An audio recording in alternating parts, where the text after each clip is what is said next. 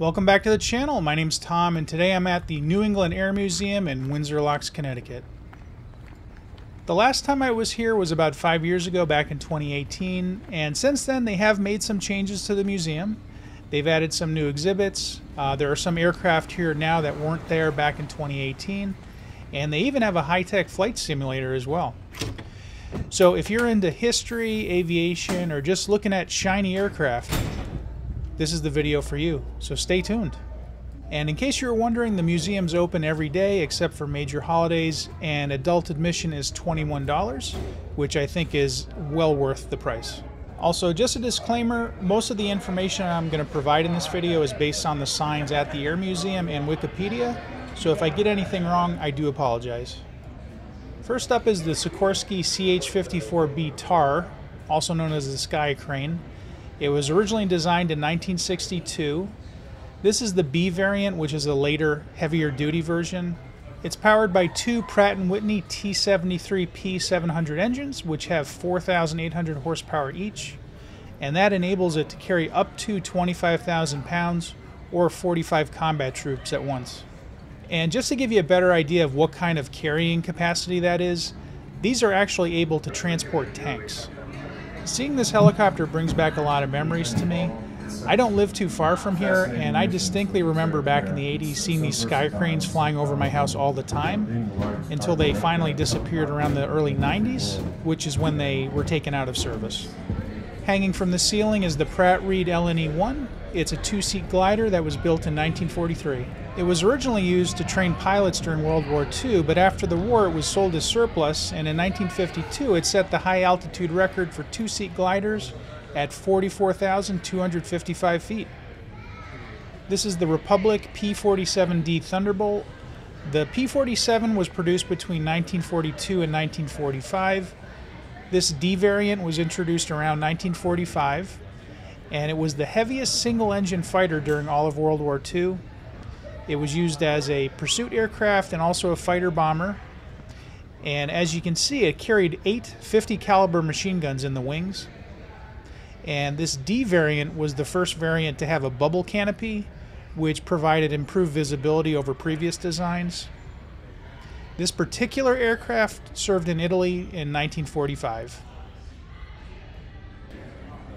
This is the Douglas A-20 Havoc G, the Douglas A-20 was produced between 1939 and 1944, and this variant, the Havoc G, was the most produced version. There's over 2,850 of these that were built, and it served as a medium bomber, a night fighter, and attack aircraft.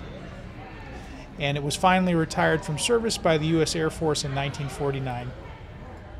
I believe that's a camera there in the nose of the plane. If I'm wrong, let me know in the comments. Now let's head on up and take a look in the cockpit. See what's going on inside there.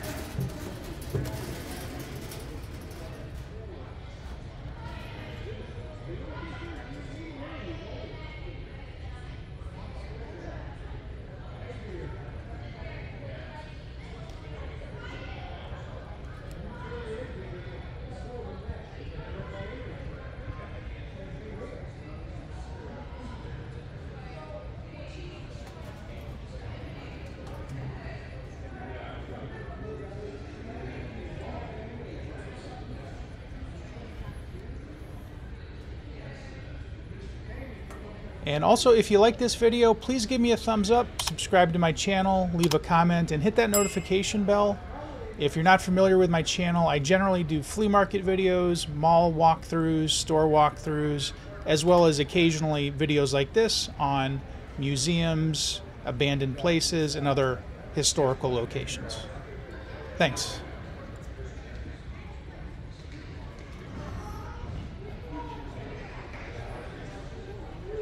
Here's an alternate nose cone for the plane, which as you can see adds additional machine guns.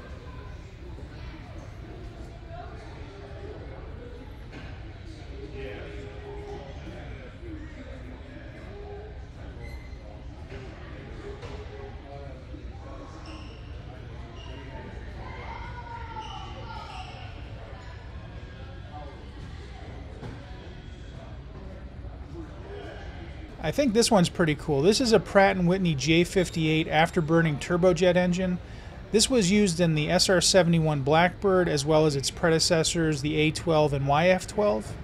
This engine can propel an aircraft at over Mach 3, and it actually helped the SR-71 reach the absolute speed record of 2,193 miles an hour.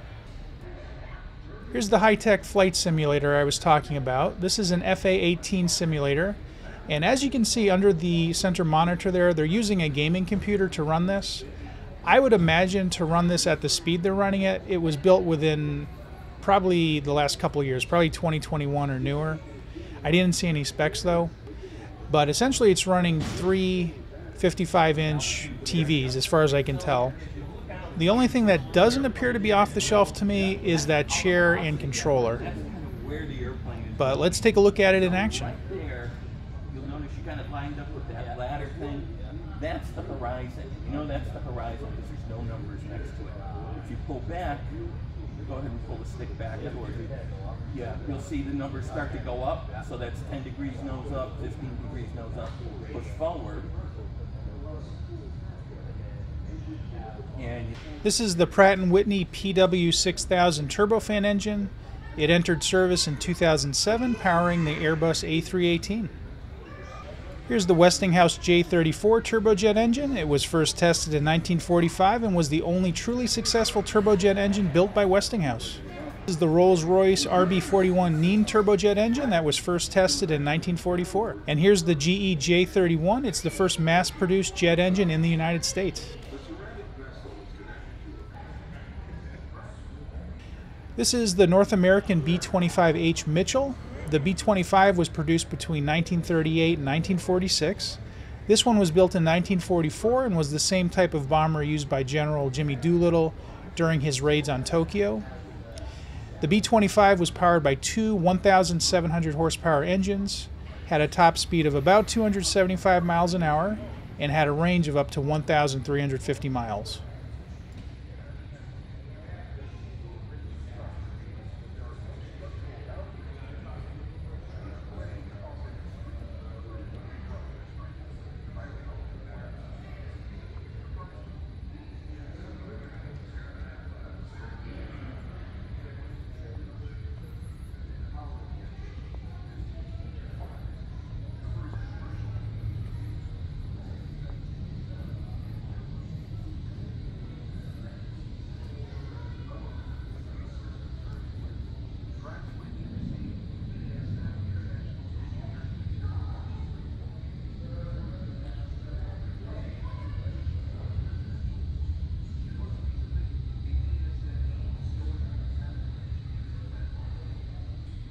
This is the MD-22 flight simulator. This is the cockpit module of a larger and more complex F-100C Super Sabre simulator. I didn't see a date on this, but the F-100C was produced between 1953 and 1959, so this would have been from that time period. And I actually remember this being here when I was a kid, and I'm pretty sure I got in it. I think you can still go in it today, but I didn't feel like uh, getting stuck, so I didn't get in.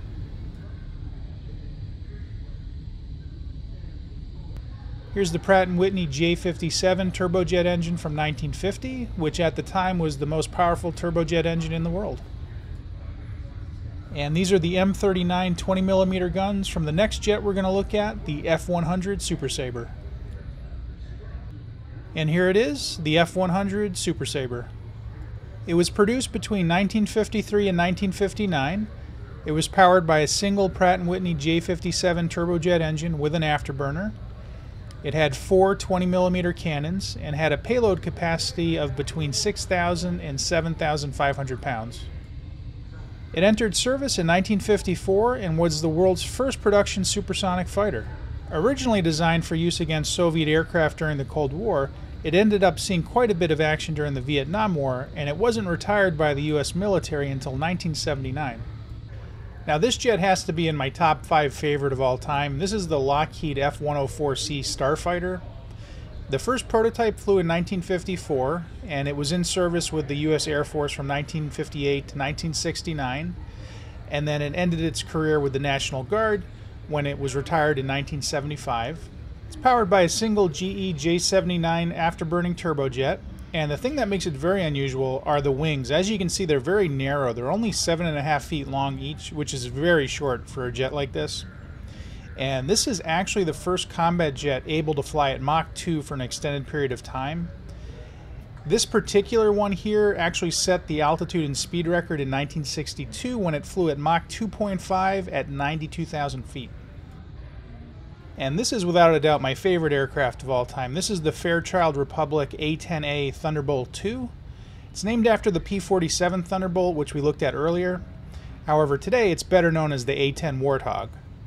It first flew in 1972 and entered service in 1976. Later versions are still in service to this day. It has a maximum speed of 460 miles an hour and it's powered by two GE TF34 GE100 turbofans. The A-10 was designed to provide close air support to ground troops and to destroy tanks and pretty much any other type of vehicle you can imagine.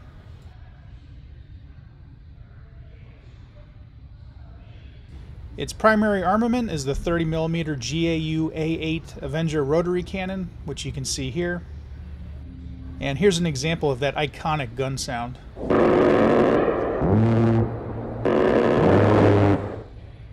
I think one of the reasons I like this aircraft so much is that it was probably the first military jet I'd ever seen in person, as they used to be stationed right here at the local Connecticut Air National Guard base, and they would fly over my house all the time. This is a cockpit simulator for a Grumman E1B Tracer. They actually have an E1B Tracer outside, so we'll take a look at that later, but this is what it looks like on the inside.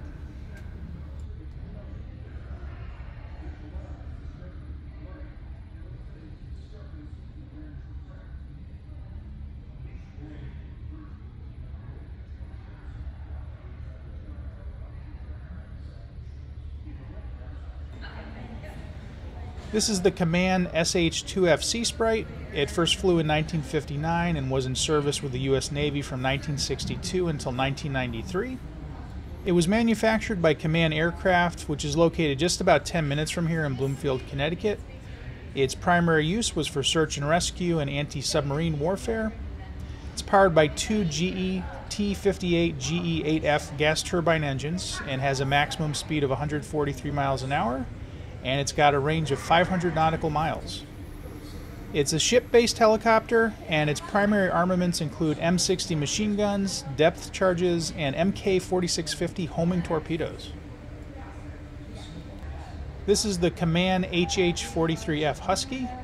This model first flew in 1953 and was retired in the early 1970s. This particular aircraft was built in 1960 and its primary purpose was to reach down to aircraft, and it had the equipment necessary to put out fires and rescue flight crews. This specific aircraft was actually used as a plane guard for Air Force One, which means it escorted takeoffs and landings of Air Force One at Andrews Air Force Base in Washington, D.C. during the time of Presidents Kennedy, Johnson, and Nixon.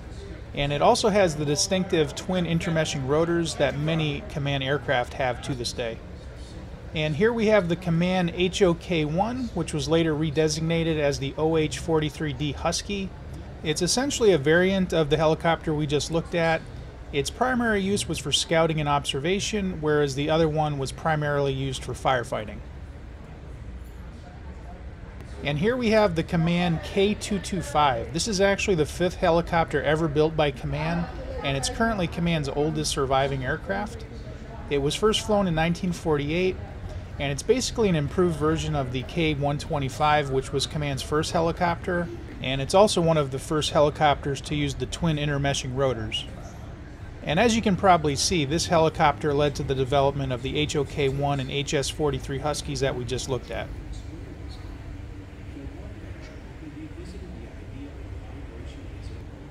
While the A-10 Warthog is my favorite airplane at this museum, this is definitely my favorite helicopter. This is the Bell AH-1S Cobra.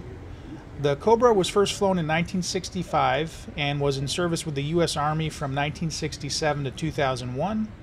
However, the U.S. Marine Corps continued to use a variant of this, the AH-1W Super Cobra, until 2020, and the Marine Corps continues to use the AH-1Z Viper to this day. Surprisingly, some of the U.S. Army's retired Cobras were given to the USDA's Forest Service. This version is also called the TOW Cobra because of its eight TOW anti tank missiles.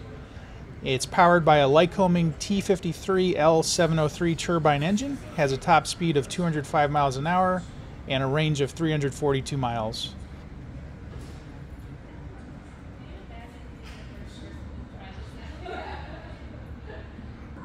Thought this was interesting. Right next to the Cobra, they have some old computers set up running Microsoft Flight Simulator.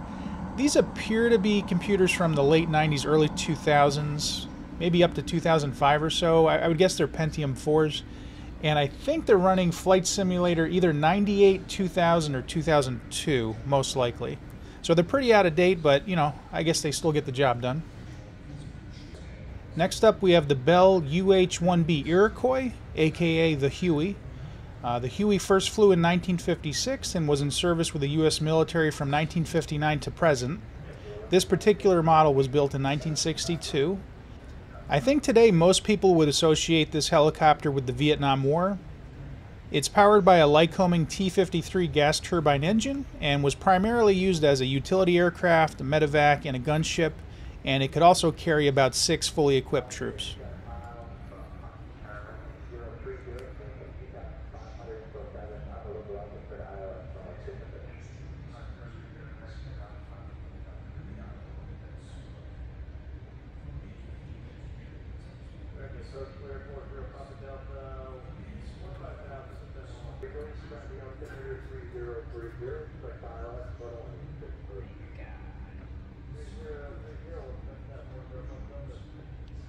We have the Hughes OH-6A Cayuse. This is a light observation helicopter that was used primarily by the U.S. Army and was first flown in 1963. This particular aircraft was built in 1967. It's powered by a 411 horsepower Allison 250 turbine engine and has a top speed of about 152 miles an hour. During the Vietnam War, this helicopter would work with the Cobra attack helicopters as a kind of hunter killer team and variants of this helicopter actually continue to be built to this day. In fact, the helicopter flown by TC in the TV show Magnum PI was a civilian variant of this helicopter. This museum also has a great collection of scale models.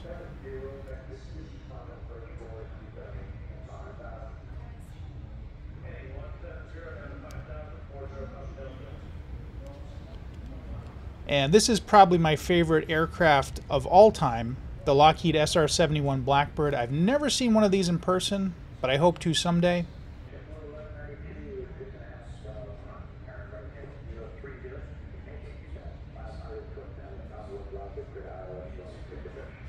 And here's the Lockheed YF-12A, which is essentially an early version of the SR-71 Blackbird. Here's another famous aircraft. This is a Lockheed 10A Electra. The Electra was first flown in 1934 and was an all metal twin engine airliner built to compete with the Douglas DC 2 and the Boeing 247. It could carry up to 10 passengers and a crew of three. And this is actually the same type of plane flown by Amelia Earhart when she disappeared in 1937. One of the easiest ways for me to identify this aircraft is by that circular antenna above the flight deck.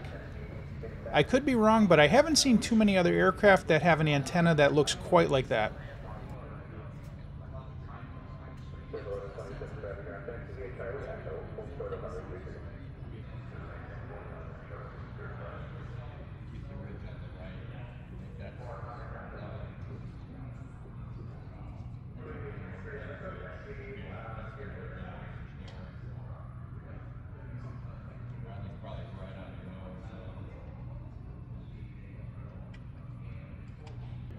Here's one of the more unusual aircraft at the museum. This is the Burnelli CBY-3 Loadmaster. This aircraft is one of one, as it never went into commercial production. It was built in 1944 and first flew in 1945.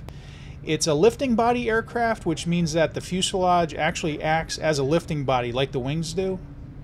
And this aircraft flew regularly as a commercial airliner in South America and northern Canada and ended its days flying out of Baltimore, Maryland, where it was eventually abandoned. It's been with the museum since 1972 or 1964, depending on what source you look at.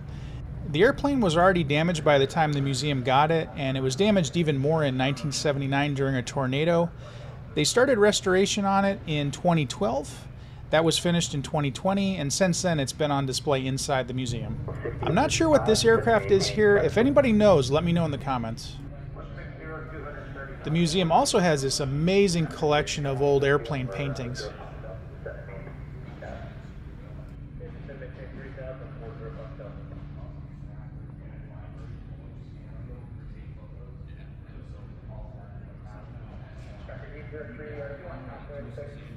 This is the Nixon Special. It was hand built by John Nixon in 1918. It was flown until 1926 and was then put into storage. It wasn't flown again until 1958, then was put back into storage and was eventually acquired by the museum. Here we have the Sikorsky H-52A Seaguard. The H-52 first flew in 1958 and was in service with the U.S. Coast Guard from 1961 to 1989. This particular helicopter was built in 1967. It's an amphibious search and rescue helicopter, and this one was stationed at the Detroit Coast Guard Air Station until 1989. What makes it amphibious is that it can not only fly, but it can float in the water as well. As you can see, the underside is shaped like a boat's hull, and the landing gear pods also serve as pontoons.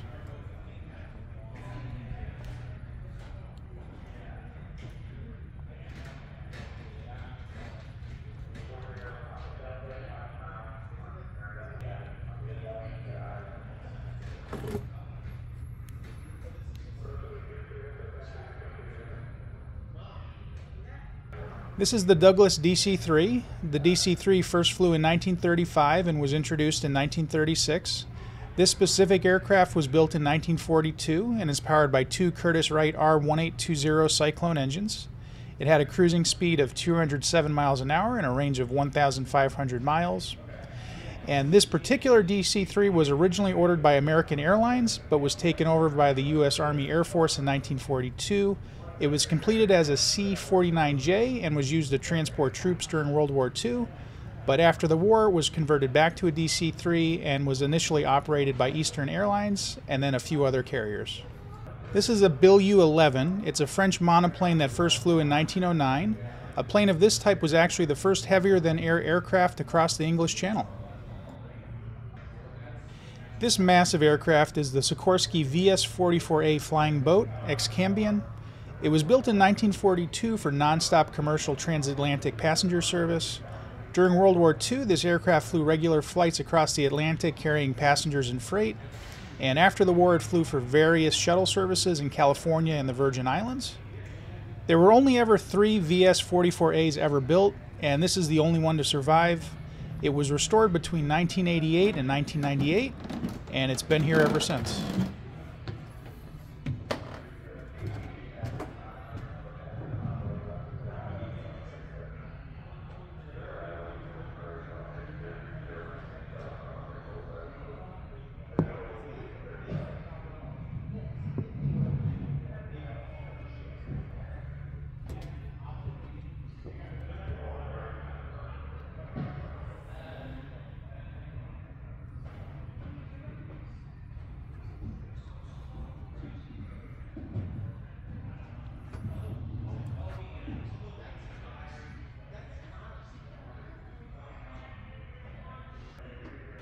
This is the North American P-51 Mustang.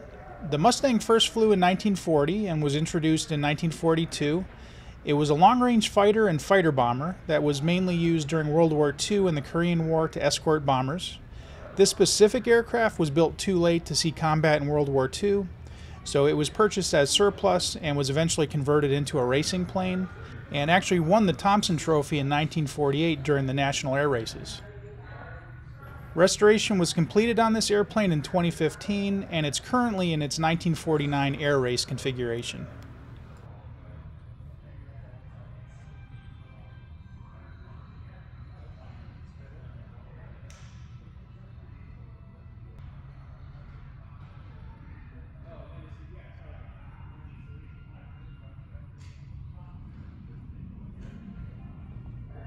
This is the Marcoux-Bromberg Special. It was originally built in 1933 as the Ryder R3.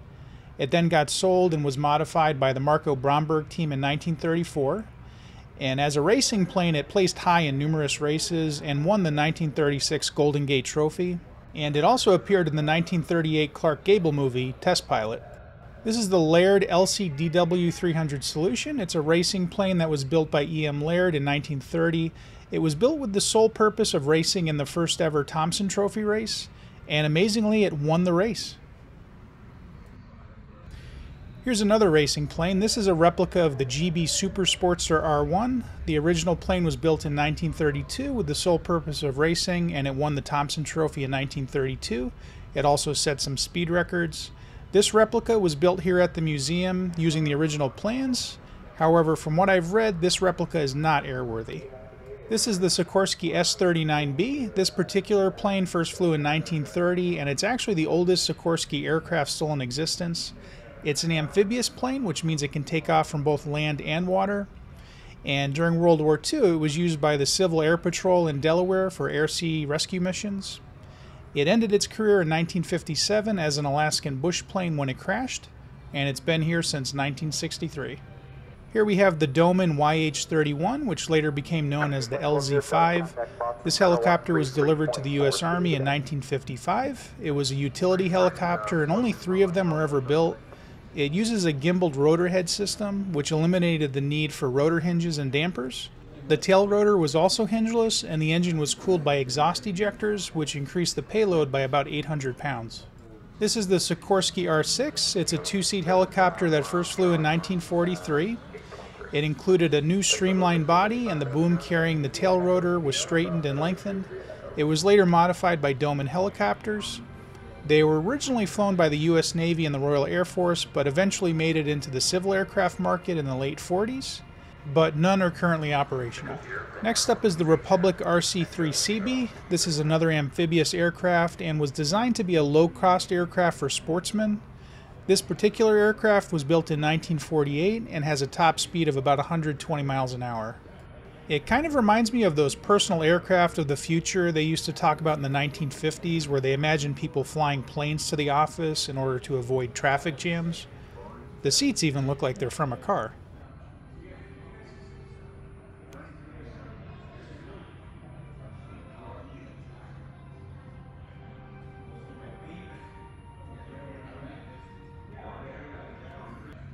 Here's the Sikorsky S-59, also known as the XH-39.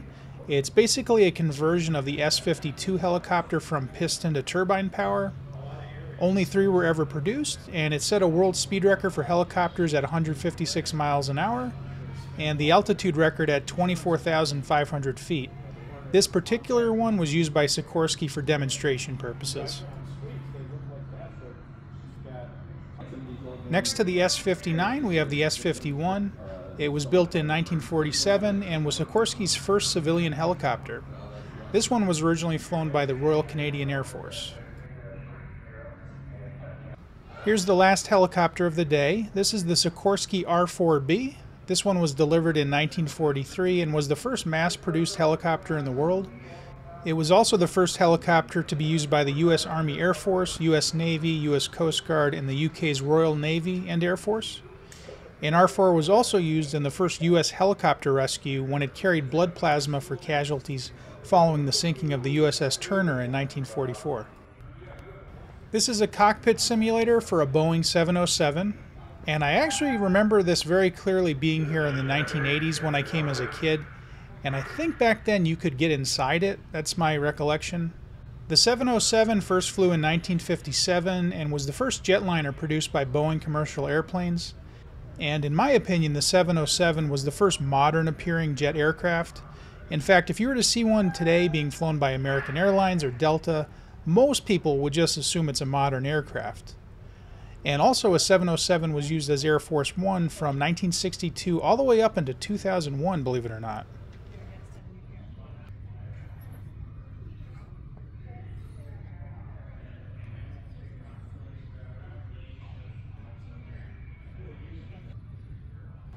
I think this is probably one of the most unusual exhibits at the Air Museum. This is the control car from a Goodyear ZNPK non-rigid airship or blimp. This one was designated K-28. It was built in 1942 and was powered by two Pratt & Whitney R1340 Wasp engines, which gave it a top speed of about 68 miles an hour. And this specific one was used as an anti-submarine convoy escort during World War II. Then after the war, it went back to Goodyear to become one of the Goodyear blimps and was renamed the Puritan. And then it was finally retired in 1948. As you can see, this one still has a machine gun in it, which I would assume almost certainly was removed when it was being used as one of the Goodyear blimps.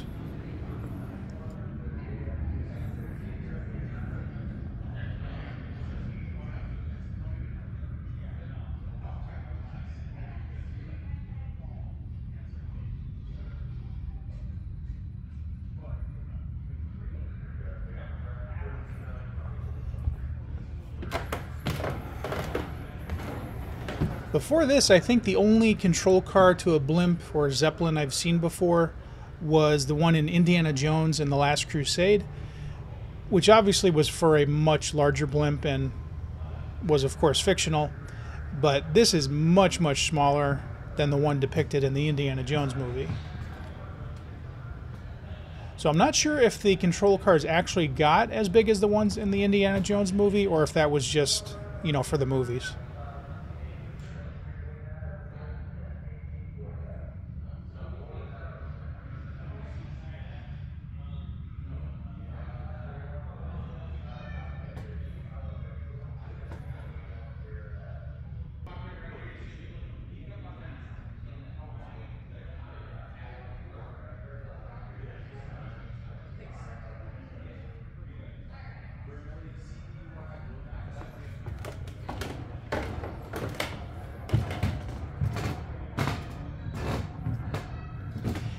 Course, the reason for all the glass is that this was used as an anti submarine convoy escort during World War II. So you'd want to be able to see out the windows basically to see if there are any submarines down below.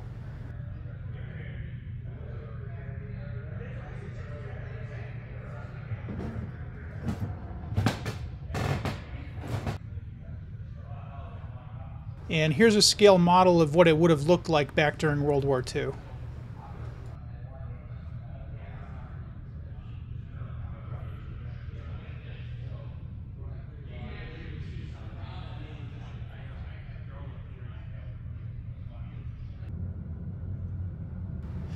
Here we have the star of the show, the Boeing B 29 Superfortress. The B 29 first flew in 1942 and was introduced in 1944, which was towards the end of World War II. It's a four engine heavy bomber and was used mostly during World War II and the Korean War. It was one of the largest aircraft of World War II and included new technologies such as an analog computer controlled fire control system, which allowed the gunner and fire control officer to use four remote 50 caliber Browning M2 machine gun turrets. It also had a pressurized cabin, which allowed it to fly at much higher altitudes than its predecessor, the B 17. Also, modified versions of the B 29 were used to drop the atomic bombs on Japan during World War II. This particular B 29, Jack's Hack, never served overseas during World War II, but served with training units until the late 1940s during the 50s, it was based in the UK and Libya and was then put into storage in 1956. It was actually set to be used for target practice, but thankfully that never happened.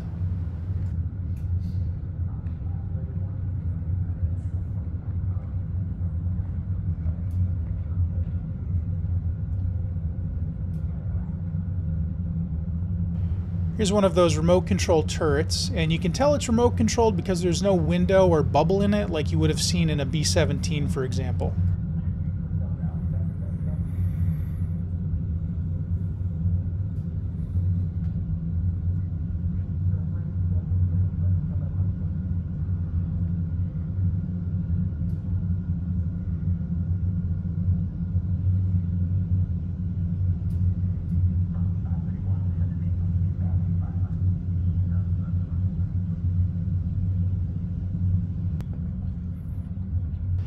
There's the bomb bay doors.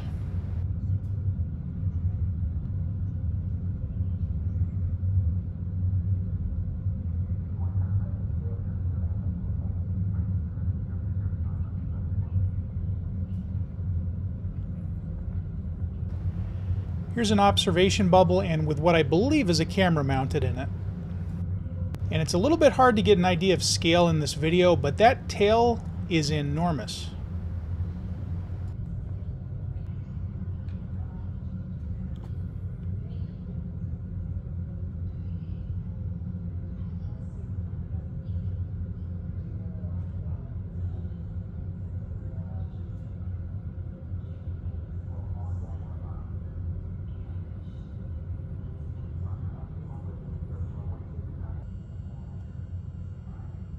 There's the tail gun, and you can see actually right above it there's a little window where the tail gunner would have sat.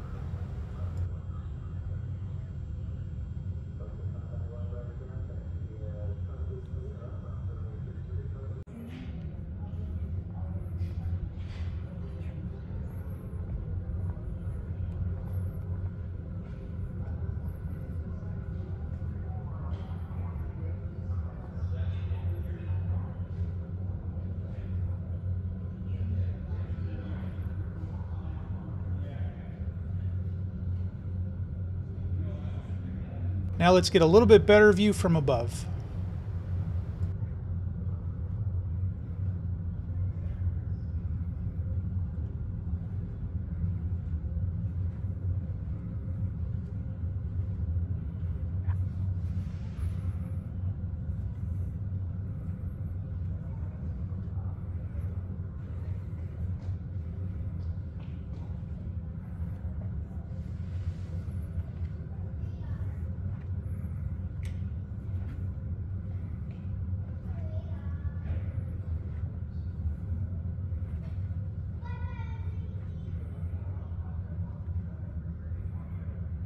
Here's the Clarktor 6 airport tug from the 1940s, and this would have been used to move aircraft around military installations and also to pull trailers like that. This is the Grumman FM-2 Wildcat. It first flew in 1937 and was the primary fighter plane of the U.S. Navy, Marines, and Royal Navy at the beginning of World War II. Here we have the Vought XF-4U-4 Corsair. It was designed as a carrier based aircraft and was one of the best fighter bombers of World War II and also the Korean War. It can be easily identified by the inverted gull wing, which was designed to provide extra ground clearance for its huge propeller. And this one was actually the first Corsair ever produced. This is the Grumman F6F5 Hellcat, which is the successor to the FM2 Wildcat that we looked at earlier. It went into service in 1943 and was designed to be maneuverable enough to take on Japan's fighters. As a result, it ended up being responsible for the majority of Japanese fighters shot down during World War II.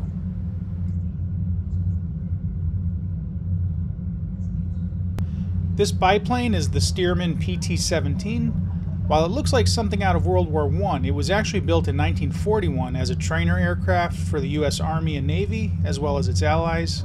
This particular aircraft served at the Tuskegee Army Airfield from 1943 to 1945, which was the main training facility for African American pilots at the time.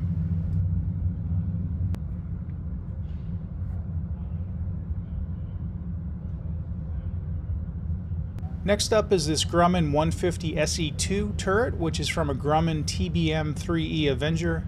It's from 1943 and was one of the first powered ball turrets that could work in a single engine aircraft. It has a 50 caliber machine gun and used one and a half inch thick glass to protect the gunner.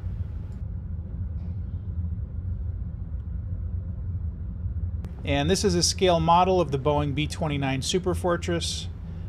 I wouldn't mind having this in my collection, that's for sure. Might be a little bit out of my price range though. Now we're going to head outside where they have some additional aircraft on display.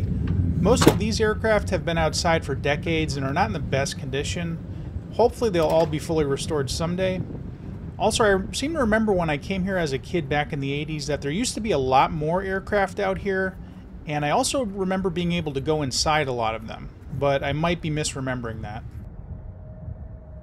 First up, we have the de Havilland C-7A Caribou, originally called the DHC-4 Caribou. It first flew in 1958 and was introduced in 1961. This is a Canadian built aircraft and was designed as a military transport and later used as a utility and cargo aircraft.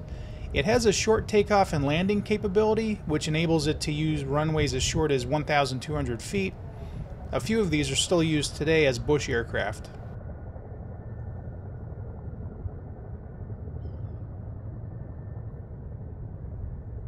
Next we have the Douglas A-3B Skywarrior. It was a strategic bomber. This is the main production variant which entered service in 1957. It operated from aircraft carriers and was the largest and heaviest aircraft to do so at the time. It was also used for reconnaissance, mid-air refueling, and electronic warfare. It was finally retired in 1991. This is the Grumman HU-16E Albatross, originally called the SA-16B and UF-1G. It was designed by the U.S. Navy as an amphibious utility aircraft that was also capable of using skis to take off from ice and snow. As you can see by the shape of it, it could also take off and land in water. It first flew in 1949, and this one was built in 1953. It was mainly used as a search and rescue aircraft and was retired by the U.S. Coast Guard in 1983, but there are still many of these being used today in civilian operations.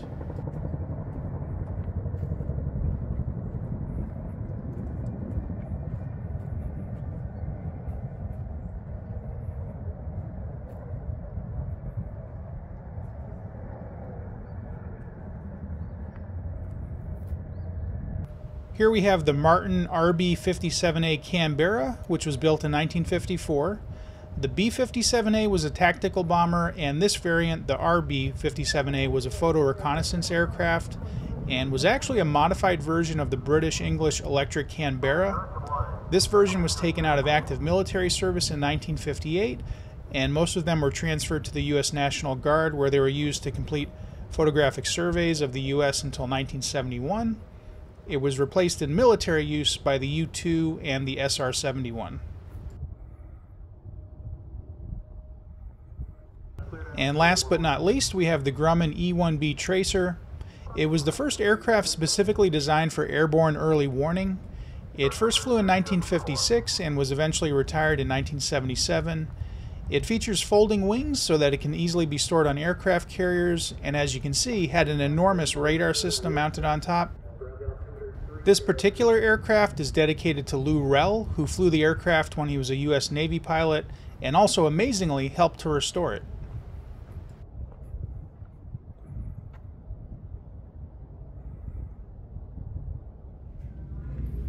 And before we leave, we have to check out the gift shop. I would say this is probably the best gift shop I've ever seen at a museum. If you're into aviation or anything military, you definitely want to come out here because they have some amazing stuff here that you really can't find anywhere else. And also a lot of this stuff you can find it online, but you know this is an easy place to find it all in one spot. And also, uh, you do not have to pay admission to get into the gift shop. So if you want to just come out to the gift shop and you know not look at the aircraft, you can do that too.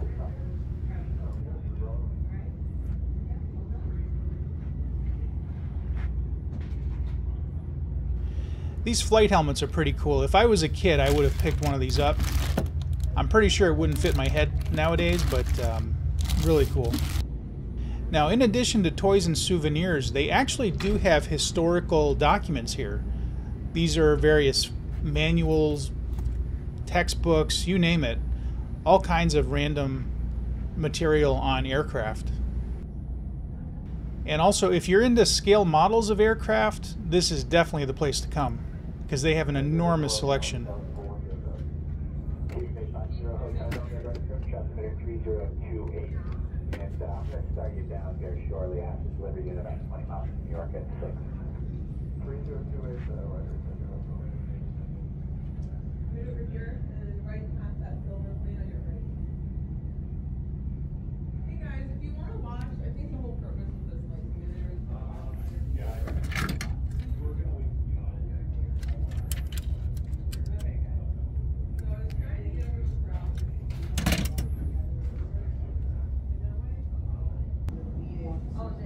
I was really tempted here to pick up one of each airline, but I was able to control myself.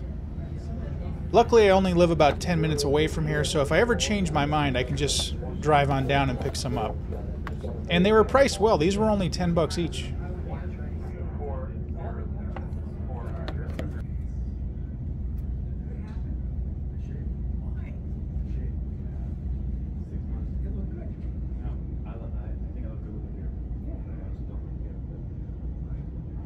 I did it because I've been watching, I've been trying to test this for the last fifteen years.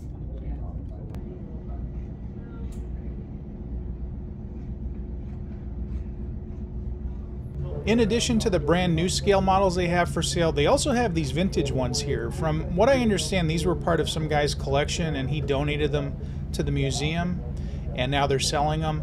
They're definitely not cheap, that's for sure, but they're pretty awesome. So if there's an aircraft scale model you're looking for, odds are they probably have it here.